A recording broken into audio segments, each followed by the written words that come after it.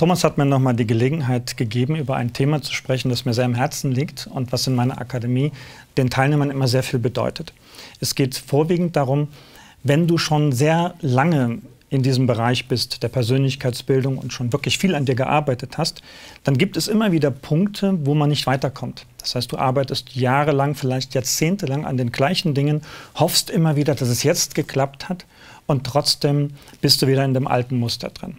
Dafür gibt es einen Grund und diesen Grund zu kennen kann sehr befreiend sein und auch eine Richtung geben, wie man weiterkommen kann.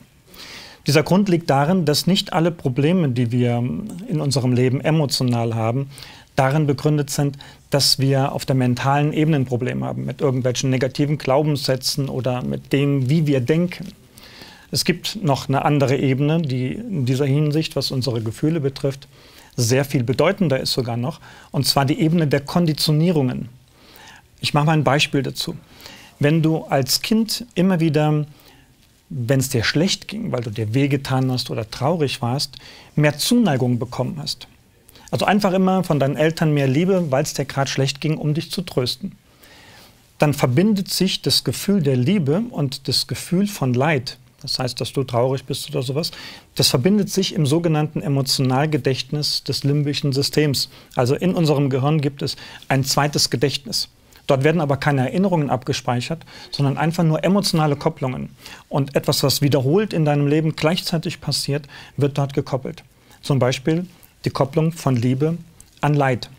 Und dann kann es passieren, dass man Leid sucht. Weil in dem Moment, wo man Leid empfindet, empfindet man auch gleichzeitig Liebe. Und die Liebe ist uns wichtiger wie Leid.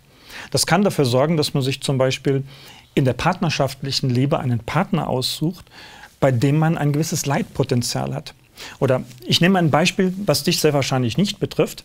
Es gibt Menschen, die wurden in ihrer Kindheit von ihren Eltern unter Umständen ziemlich stark dominiert. Ihr eigener Wille wurde unterdrückt. Diese Dominanz, immer wenn sie was Eigenes wollten, wurden sie entsprechend abgelehnt. Und immer wenn sie gemacht haben, was man ihnen gesagt hat, wenn sie brav waren, bekamen sie ein Mehr an Zuneigung. Dadurch wird man als Kind konditioniert. In diesem Emotionalgedächtnis entsteht quasi eine Kopplung. Das kann dafür sorgen, dass man dann später bei der Partnerwahl immer nach einem Partner sucht, der einem dominiert. Die anderen interessieren einem gar nicht, die sind langweilig, in die kann man sich nicht richtig verlieben, weil nämlich Liebe an Dominanz gekoppelt wurde in der Kindheit. Und wenn keine Dominanz da ist, kann man die Liebe auch nicht empfinden. Das heißt, man sucht sich auf dieser Basis dann immer einen Partner, der einem dominiert, weil dann hat man die Möglichkeit, sich zu verlieben. Jetzt sagt uns unser Verstand natürlich, mit so jemand kann man nicht wirklich eine glückliche Beziehung führen, der einem ständig unterdrückt und dominiert. Das sagen einem dann auch alle Freunde. Nur man sucht sich dann vielleicht auch mal einen anständigen Mann oder eine liebe Frau, die nicht die ganze Zeit rumzickt und einem niedermacht. Es fühlt sich auch irgendwie richtig an, das so zu tun, vom Kopf her, aber man kann sich dann trotzdem nicht richtig verlieben. Also beendet man die Beziehung wieder und verliebt sich wieder in jemand, der einem unterdrückt und dominiert, weil Liebe an Dominanz gekoppelt ist. Und so ist in unserem Emotionalgehirn vieles gekoppelt. Also viele Emotionen sind miteinander gekoppelt, zum Beispiel Liebe an Angst wenn du immer wieder, wenn du mit einem bestimmten Partner, bei deinem ersten Partner vielleicht, als Teenie noch, immer wieder Angst hatte, der könnte dich verlassen oder betrügen oder sowas. Und gleichzeitig aber die Liebe gespürt hast. Wenn du wiederholt Liebe und Angst gleichzeitig spürst, wird es wieder im Emotionalgedächtnis gekoppelt. Und das sorgt dafür, dass du dann auch später im Leben immer wieder nach Partnern Ausschau hältst, die dir gefährlich werden können. Das heißt, Menschen, die dir Angst machen, dass sie dich verlassen könnten. Das heißt, du suchst dir zielgerechnet genau die Partner aus, bei denen es eine große Gefahr gibt, dass sie dich betrügen oder sonst aus irgendeinem Grund hängen lassen, fallen lassen. Die sind interessant, weil da kannst du Liebe füllen, wenn du gleichzeitig die Angst fühlst, wenn Angst und Liebe gekoppelt ist. Das sind Mechanismen, die nichts mit unserem Denken zu tun haben. Das heißt, die finden auf einer ganz anderen Ebene statt im sogenannten limbischen System unseres Gehirns. Das ist das Zentrum der emotionalen Intelligenz.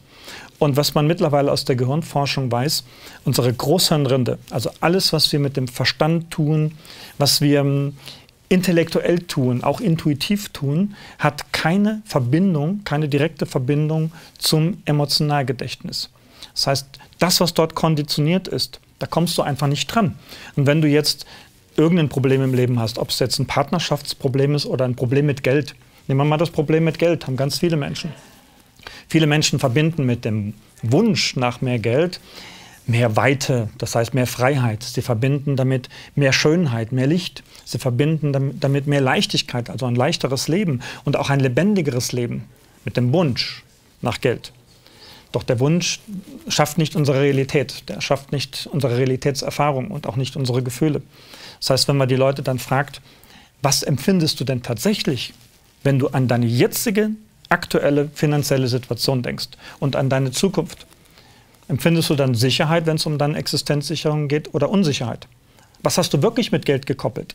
Einengung oder Weite, also Freiheit, oder bist du mit allen möglichen alltäglichen Notwendigkeiten gezwungen, morgens auf eine Arbeit zu gehen, die du gar nicht gerne machst, dir Dinge zu verkneifen, die du dir gerne leisten möchtest und so weiter und so weiter.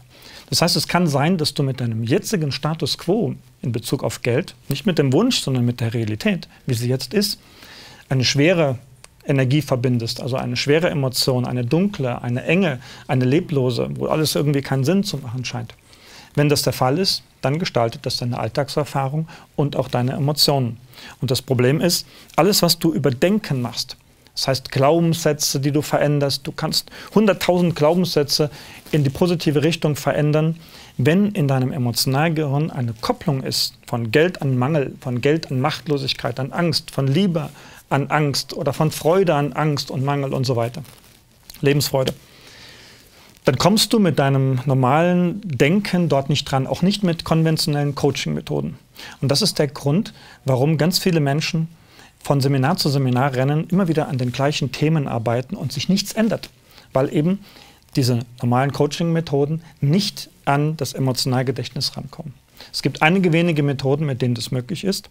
Und wenn man weiß, es gibt eine andere Ebene, dann ist es einfach sinnvoll, diese Methoden anzuwenden und nicht immer ständig auf der mentalen Ebene Glaubenssätze oder Ängste zu verändern, wenn das eigentliche Problem viel, viel tiefer sitzt.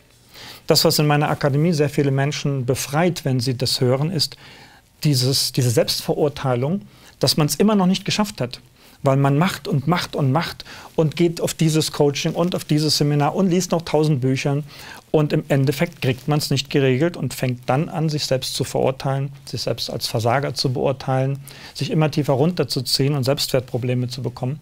Dabei versucht man die ganze Zeit nur etwas, was nicht möglich ist. Aber es ist natürlich möglich, auf dieser emotionalen Ebene zu arbeiten und direkt an dieser Stelle anzusetzen.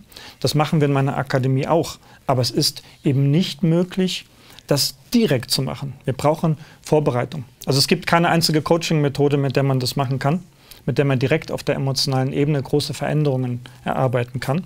Der Grund dafür ist, wir werden in unserer Kindheit konditioniert, bevor wir überhaupt denken können. Das heißt, als kleines Kind zum Beispiel bekommst du schon Zuneigung von deinen Eltern, da kannst du noch gar nicht reden für bestimmte Dinge. Das heißt, du machst irgendwas Tolles, guck mal, wie schön das Kind schon laufen kann oder du lächelst und für das Lächeln bekommst du mehr Liebe. Das wird gekoppelt, ganz schnell. Später baut dann in deinem Gehirn dein Großhirndenken auch darauf auf, nämlich diese Liebe immer wieder haben zu wollen. Und wenn du jetzt immer Liebe bekommen hast, weil du etwas toll gemacht hast, dann wurde das im Emotionalgedächtnis gekoppelt. Und dann fängst du an zu überlegen, wie kann ich jetzt immer wieder was Tolles tun? Dann entstehen alle möglichen Glaubenssätze und Motivationen und Erfahrungen dazu, die du dann auch alle bearbeiten kannst. Nur der Schlüsselpunkt ist, im Kern dieser ganzen Geschichte steht diese, diese Kopplung im Emotionalgedächtnis. Wenn du die jetzt veränderst, dann stimmen plötzlich alle Gedanken, die du danach darauf aufgebaut hast, alle Glaubenssätze, die du angenommen hast, alle Motivationen, die du angenommen hast und so weiter die stimmen nicht mehr zusammen, die passen nicht mehr zusammen. Deswegen lässt unser Gehirn das nicht zu, denn wir hätten dann eine starke Diskrepanz zwischen dem Gefühl, also zwischen der emotionalen Ebene und unserem Denken. Und wenn Denken und Fühlen sich überhaupt nicht mehr miteinander vertragen, dann kriegen wir einen Identitätskonflikt. Das heißt, unser Gehirn vermeidet es. Auf dieser emotionalen Ebene kannst du deswegen dann erst arbeiten, wenn du auf der mentalen Ebene schon sehr viel bereinigt hast, sodass es dort eigentlich schon ganz gut in Ordnung ist. Und dann kannst du an den Kern, an den tiefer liegenden Kern der Dinge herankommen. Alleine das zu wissen, ist, wie gesagt, schon für viele Menschen eine große Erleichterung, weil sie dann einfach aufhören mit der Selbstverurteilung. Denn sie wissen, sie haben etwas versucht, was einfach gar nicht möglich war. In diesem Sinne wünsche ich dir viel Erfolg auf deinem Weg und hoffe, dass dir das vielleicht ein bisschen geholfen hat. mit dir etwas liebevoller und netter umzugehen. Bis dann. Ciao.